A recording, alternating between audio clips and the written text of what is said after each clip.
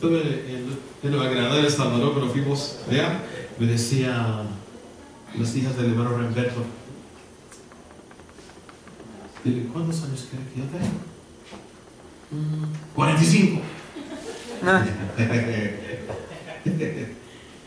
y me dice, voy a ser senior. El próximo mes y sigo caminando y corriendo tres millas al día. Si yo no cuido mi cuerpo, Dios no va a poder usar este cuerpo. Así que si usted quiere ser saludable, hay que meter ese cuerpo lo que te va a hacer saludable. Yo no, yo no llevo mi casa helada. Todas esas cosas son, es buena, rica. Y no hay nada de malo comerlo de vez en cuando. Pero hay gente que todos los días tiene que comer dulce. Esto es un bonus. ¿Qué estoy diciendo?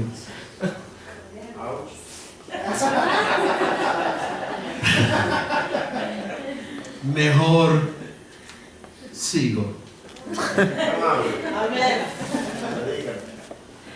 Pero hermanos,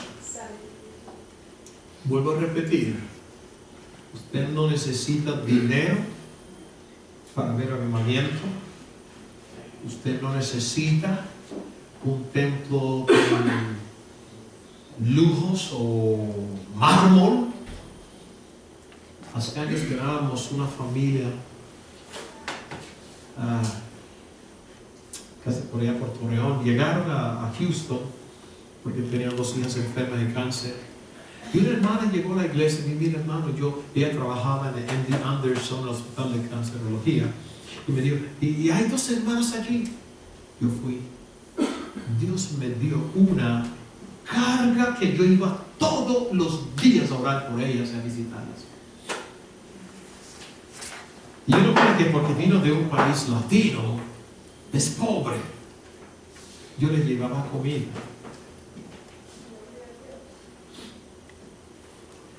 La hermana mayor regresó a México, falleció y quería que yo fuera a oficiar la ceremonia fúnebre y yo fui. Pero antes que ella falleciera me dijo, yo quiero una iglesia como la suya en mi ciudad. Voy a hablar con mi papá para que nos dé un terreno, lo quiero como la suya. Entonces yo fui. Cuando yo llegué allí, hermanos, me, me sentí tan pequeño de ver que yo estaba llevando comida a esta gente que podían darme a mí de comer por todo un año sin sentir nada. El- el- el viejito tenía dos ranchos. Me llevó a uno de los ranchos donde tenía sus caballos. No, no tuve tiempo de ir al otro rancho. Me mostró, me dice, ¿dónde quieres? Diga la cantidad de tierra que necesita. Yo me quedé con la boca abierta. Yo creo que no estoy preparado para decirle ahora cuánto. Y dije, yo voy a regresar. Monclova, Coahuila. En Monclova. Yo regresé a Houston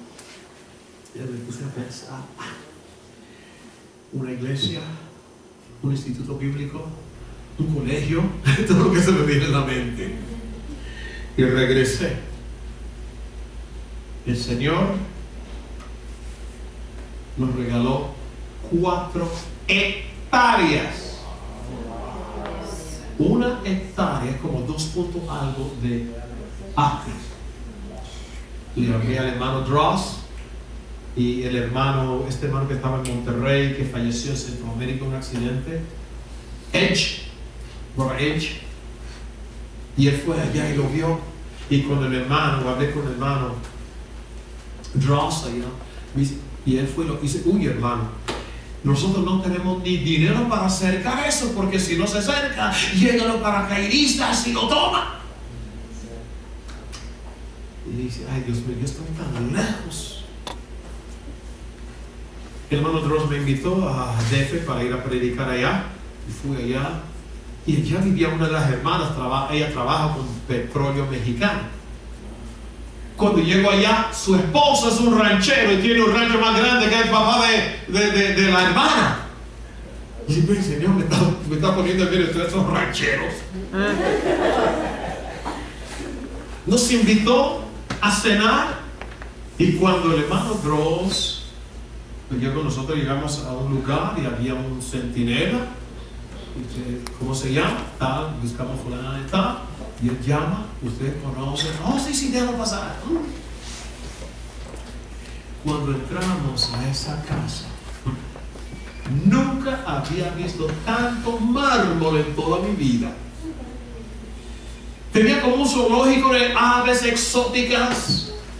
Ella me dijo, pastor, yo quiero ayudar a construir esa iglesia en nombre de mi hermano. ojalá pudiera decirte, hermanos, que se llevó a cabo. Yo vivía muy lejos y hermano Dios me dice, hermano, nosotros no tenemos dinero para acercar eso. Y el Señor me llevó al centro, un lugar, y me dice, si quiere, aquí en el centro, pero yo me acuerdo, cuando yo estudiaba, en el seminario bautista allá en Cali, Colombia, las iglesias que estaban en medio de los, de los, pueblos así, de la ciudad, en medio de la gente, les tiraban piedras. Yo dije, no, no, no, no.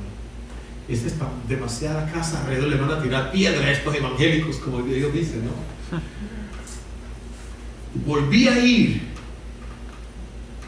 y me dice la mamá, de esta hermana. Hay una iglesia metodista que está diciendo, damos a nosotros ese terreno. Yo, yo dejé a un pastor, no sé si el hermano llegó alguna vez a conocer a los hermanos Alfa allá en México. En esa misma ciudad pastoreando, recomendé a uno de ellos. Después me di cuenta, yo llevé a esta familia a ese lugar y en la iglesita del hermano, usted, si usted los países latinos esa iglesita por usted se da cuenta, tenían unos bloques de cemento allá y una madera grande encima, esas las bancas. Y me dijo ellos, nosotros vamos a ayudar a esta iglesia, porque yo sé que ellos no iban a ir a esa iglesia. No, recién bautizados con tanto dinero, ellos que van a ir a sentar en eso. Pero me prometieron que iban a ayudar a esa iglesia. Pero ese pastor bautista estaba, eh, perdón, metodista estaba allí encima y nosotros no tenemos quien pudiera estar ahí por nosotros. Y el hermano Alfaro, pobrecito, un hermano muy humilde y supervisor. La hermana decía, no, es que vamos a la iglesia y el pastor no está allí porque era supervisor. Yo espero en el Señor que algún día, porque la hija que está en el, en me dice, pastor, haga algo antes que muera mi papá y después mis hermanos no van a honrar lo que mi papá dijo. Está muy lejos. Ahora hasta vergüenza me da llamarlos. Porque después de prometido que íbamos a hacer algo y no pudimos hacer por falta de alguien que pudiera representarnos en ese país. Pero le digo algo, en Nueva Granada, El Salvador, la mamá de un hermano nos ofreció un terreno inmenso para poner la iglesia. No vamos a perder eso.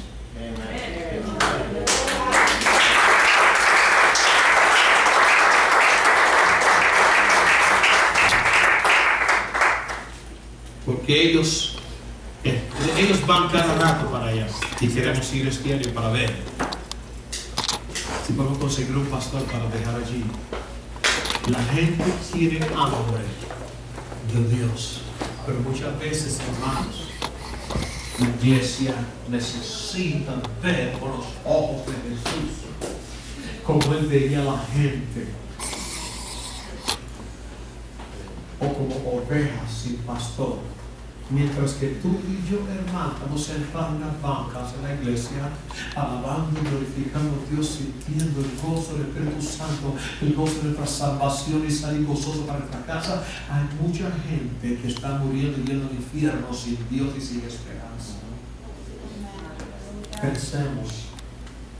Y sí podemos tener el porque fíjense lo que dice el profeta en los últimos tres versos del capítulo 3 de Habacuc.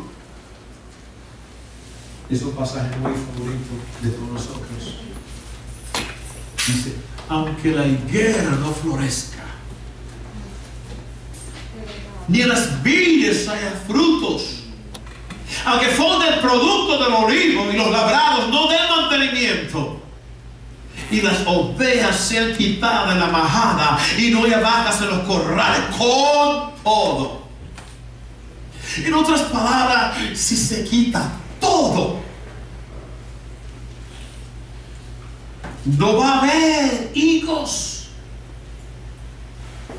no va a haber frutos, no va a haber aceite, el producto del olivo no va a haber. Los labrados no van a dar mantenimiento. ¿Cómo vamos a comer? Las ovejas no van a dar leche ni carne. Las vacas, no va a haber vacas en los corrales, pero dice el con todo yo me alegraré y me gozaré en el Dios de mi salvación, en Jehová. Y me gozaré en el Dios de mi salvación, porque Jehová el Señor es mi fortaleza. No es el dinero, es la voluntad, es la oración, es la dedicación, es la consagración, es la fe para adelante. Dios dice, y vamos a orar como el profeta Habacuc cuando Dios le dijo que a dar, dice, el sobre mi cual estaré. Y comenzó a orar, aviva tu obra, Señor, tú lo has prometido, yo voy a orar hasta verlo.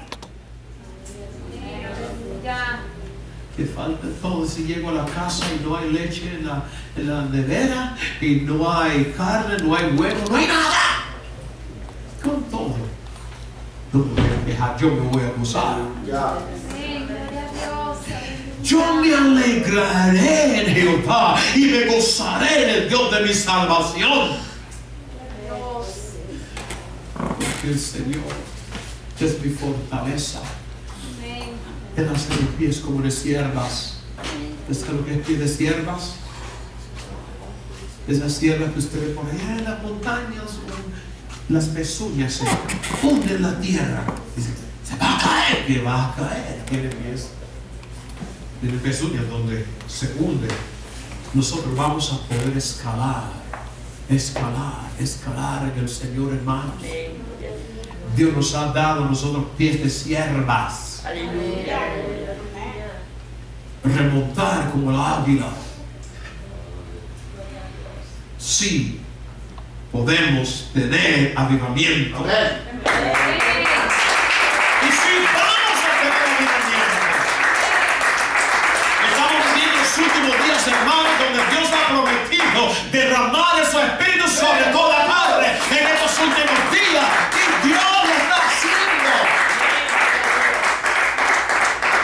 Hace dos domingos mandamos dos eh, ministros de nuestra para Villagrán, Guanajuato, tenemos una obra hija, y estos hermanos fueron allá y predicaron. 14 fueron sellados con el Espíritu Santo. Dios, aleluya.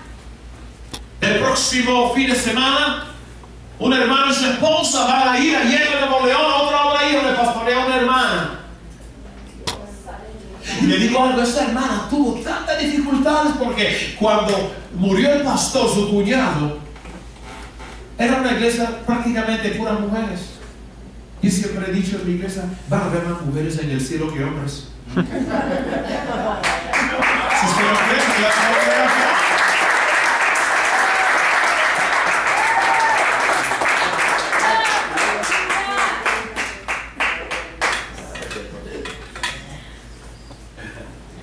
Y un pastor renunció de la organización porque le dieron licencia a una hermana. Pero era pura envidia. Porque la hermana iba a la iglesia de su cuñado y el cuñado iba a la iglesia de ese pastor. Entonces cuando el cuñado salió a la obra, el pastor, yo quiero que vayas a un lugar que se llama el Barretal. Yo fui con este hermano al Barretal. Así como usted, Barretal, eh, ni suena bien.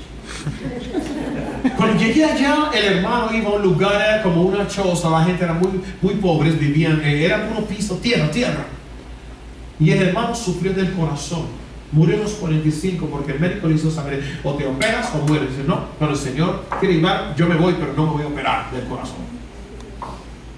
Y le manda, dice el hermano, me manda a mi pastor acá y ni siquiera me da para el bus. Y el hermano enfermo. Así que el hermano dice, no, yo voy a abrir una obra aquí. En aquel entonces había más de 200 mil personas allí en Allende, Nuevo León. Y en la iglesia del hermano no cabía ni 300 y él quiere poner 200 mil. Porque no quiso sacar al hermano a la obra. Allí él es el lugar.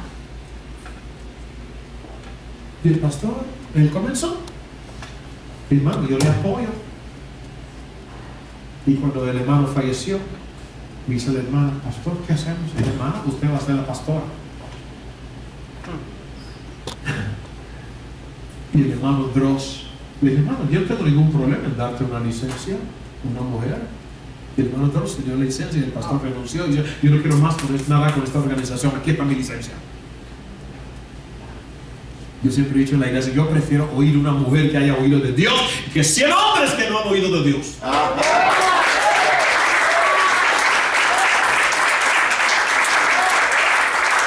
¿Sabe qué? La hermana ya tiene su propio templo.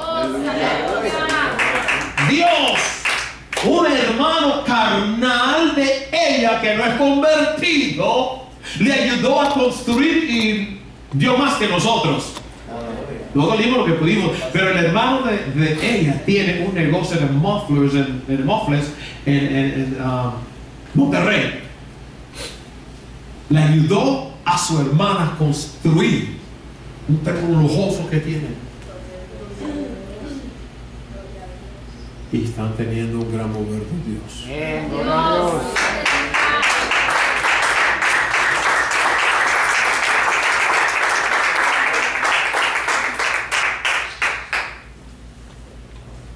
Yo creo, hermanos, que el avivamiento más grande, la iglesia no la ha visto todavía, ni siquiera de la iglesia primitiva. Porque el avivamiento de los últimos días va a ser grande. Yo creo que va a llegar el día, hermanos, antes de la venida del Señor, que los estadios de fútbol van a ser muy pequeños. Y la gente está viniendo al Señor por montones.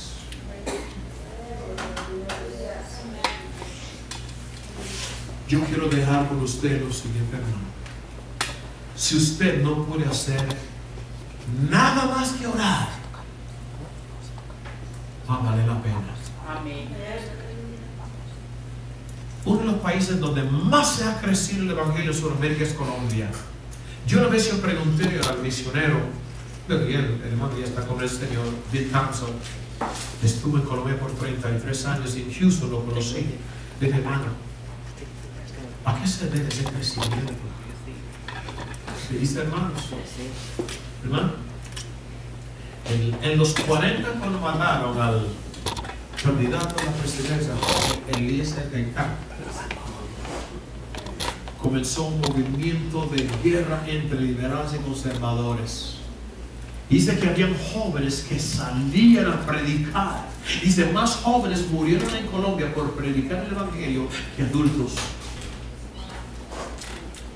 ¿Qué es lo que hace la sangre de los mártires? Hace crecer el Evangelio.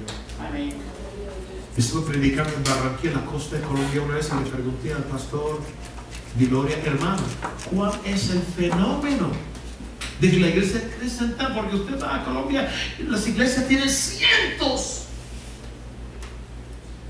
Me dijo el hermano, yo no sé, hermano, pero yo saco 20 personas o 50 personas a un barrio a comenzar. Hermano, a los dos años tienen 200. Es un tremendo avivamiento. Pero yo le digo algo. Los colombianos convertidos, yo tengo muchos en mi iglesia. Esa gente ora y no tiene pena en la lengua para testificar. Le habla. Hay una hermana en la isla nuestra que cuando fue el presidente saliente a, San Andrés, ella iba, es que le iba a testificar y comenzó a hablar al presidente. Testificar. Una vez hicieron una encuesta y preguntaron que por qué la iglesia pentecostal en Colombia crecía tanto. Y le contesta de estos religiosos, no quiero decir para no ofender a nadie, y le decía, es que ellos creen lo que predican.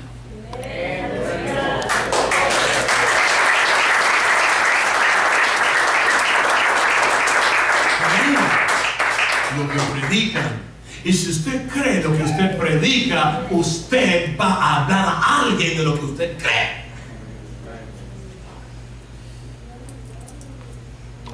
Vamos a ponernos en pie.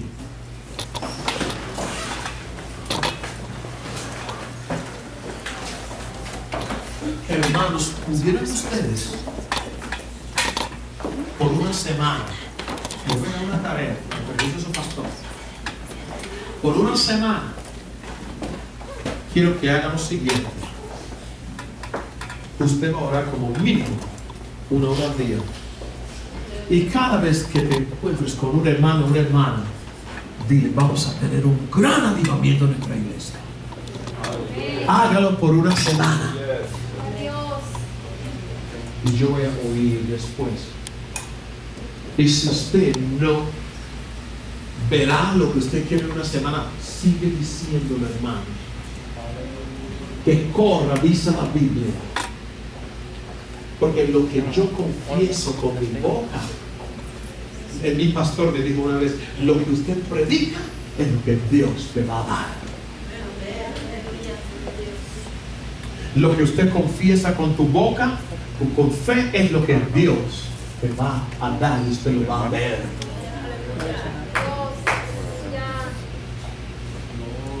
Así que cada vez que usted habla con un hermano o una hermana, la primera cosa es decir, gloria a Dios.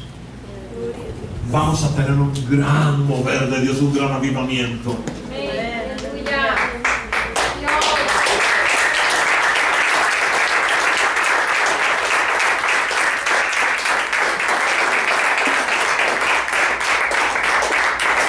Yo le aseguro, como mencioné el viernes, con nosotros entramos al lugar santuario que tenemos ahora.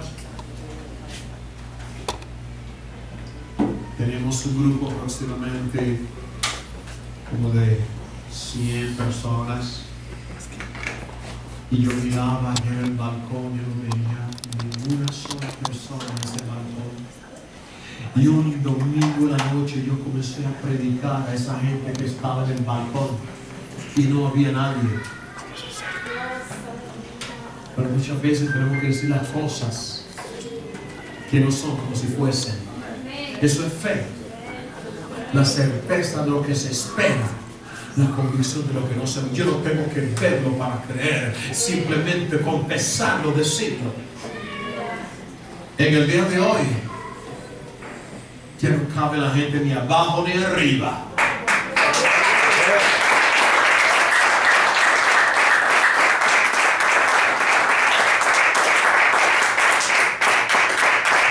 Dios necesitaba un hombre decir eso. Y yo decía, hermanos, yo estoy viendo el balcón lleno de gente y no había ni una sola persona. Pero con los ojos de la fe yo los vi. Nosotros somos el pueblo de Dios. El pueblo bautizado en el nombre de Jesús. El pueblo sellado con el Espíritu de Dios. Y todo lo que Dios tiene nos pertenece. Y Dios quiere darnos avivamiento más de lo que nosotros deseamos. ¿Por qué crees que murió Jesús? Por almas perdidas. El latir el corazón de Dios dice almas, almas, almas, almas. Y por todo el mundo predicar el Evangelio a toda criatura. El que creyere y fue bautizado será salvo. Hermanos, vamos a poner las pilas. Ya sabes, tienes que comenzar a decirle al hermano, va a haber un gran avivamiento, Dios se va a mover poderosamente. Luego usted va a ir a su pastor, pastor. ¿Qué quiere que yo haga? ¿Para qué sirvo, pastor? Dígame, ¿qué quieres que yo haga? Cuando el hermano Luis y su familia estuvieron ahí en nuestra iglesia, yo no sabía que él era pastor antes. Y él tan fiel a la iglesia y todo, este hombre tiene que involucrarse en algo. Yo dije, hermano, ¿qué quisiera hacer? Me dijo, mi esposa y yo queremos limpiar el templo.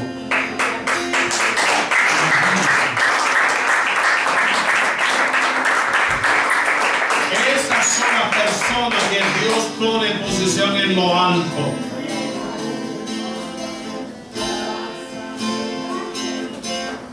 Nehemías empezó como copero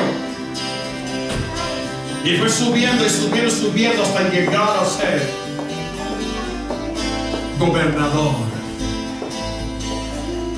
José fue vendido como esclavo, echado a la cárcel injustamente. Pero Dios sacó la cárcel y va a ser gobernador de Egipto, primer ministro de Egipto. Cuando usted comienza a buscar hacer algo para Dios, lo más tal vez insignificante. Porque para Dios yo creo que no hay trabajo insignificante. Porque si no hay quien limpie el templo, vamos a estar entre basura. Yo, yo siempre he dicho, yo necesito más los campesinos que los médicos.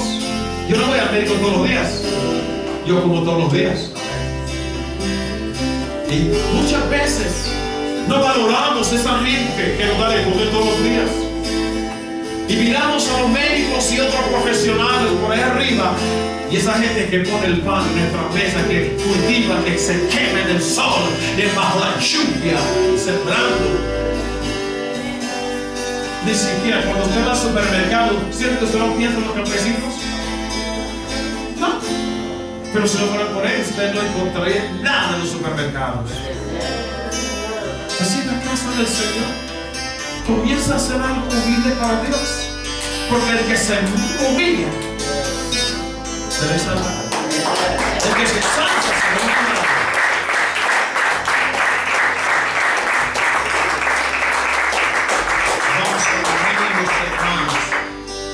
Vamos a hacer para Dios lo que debemos de hacer. Porque dice la Biblia que la noche viene cuando nadie puede trabajar.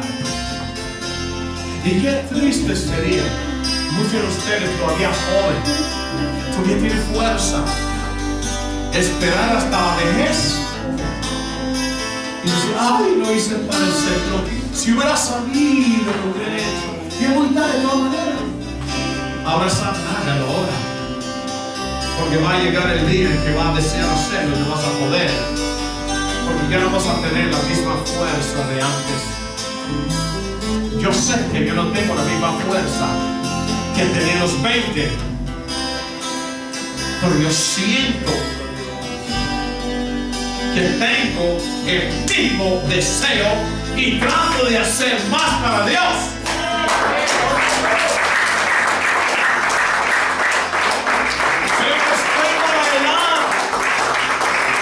Poder dar un buen consejo. Porque pasé por donde muchos, siendo pastor todo, por donde muchos ahora están, nosotros pasamos por allí. Vamos a hacer lo siguiente para concluir. Yo quiero que, hermana, agárrese la mano de otra hermana. Y hermano, si está su esposo a su lado, agarra la mano de si le busca hermano, otro, otro hermano. Y vamos a creer, vamos a orar, vamos a creer en Dios y todos se ponen de acuerdo respecto a cualquier cosa el Señor promete contestar.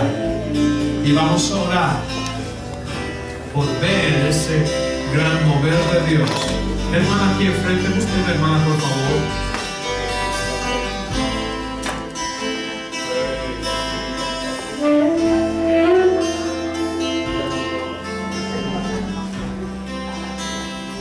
vas a decir al hermano o al hermano a su lado, dígale, vamos a ver un gran avivamiento. Dígase.